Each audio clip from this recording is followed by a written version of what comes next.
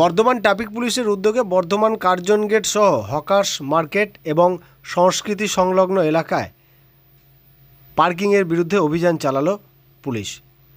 দীর্ঘদিন ধরেই বর্ধমান শহরকে যানজট মুক্ত করার লক্ষ্যে প্রশাসন তৎপর। বর্ধমান পৌরসভার নতুন বোর্ড গঠন হওয়ার পর থেকেই বর্ধমান পৌরসভা এবং প্রশাসন উভয়ে মিলে বর্ধমান শহরকে সুন্দরভাবে সাজিয়ে তোলা এবং যানজট মুক্ত করার প্রচেষ্টা চালানো হচ্ছে। আজ ট্রাফিক পুলিশের আধিকারিকদের উদ্যোগে যত্রতত্র পার্কিংয়ের বিরুদ্ধে অভিযান চালানো হলো। বারবার প্রশাসনের পক্ষ থেকে নির্দিষ্ট জায়গায় যে পার্কিং রয়েছে, সেই পার্কিংয়ে গাড়ি রাখার জন্য অনুরোধ করা হয় বা আবেদন জানানো হয়। কিন্তু মানুষ সচেতন না হওয়ার কারণে আজ যেখানে সেখানে পার্কিংয়ে থাকা গাড়িগুলিকে আটক করা হলো। যদিও কতগুলি গাড়ি পার্কিং থেকে আটক করা হয়েছে। সে বিষয়ে পরিষ্কার করে কিছু জানাননি আধিকারিকরা।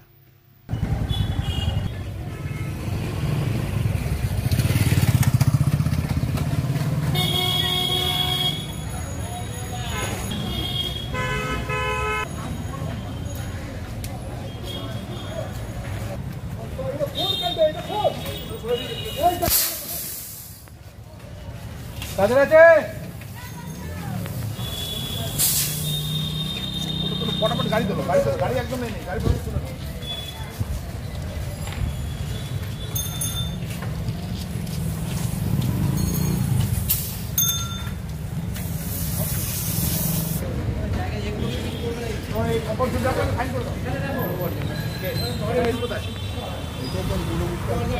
অরিজিনাল লাইসেন্সটা কোথায় লাইসেন্স অরিজিনাল লাইসেন্স কোথায়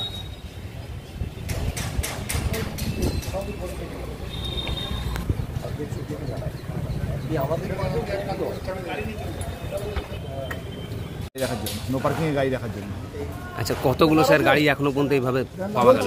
কত বলা যাবে না রাস্তা তো মূলত যারা রাস্তার উপরে গাড়ি রেখেছে যারা জন্য আর কিছু ভ্যান বা কিছু ইয়ে দেখা গেলো?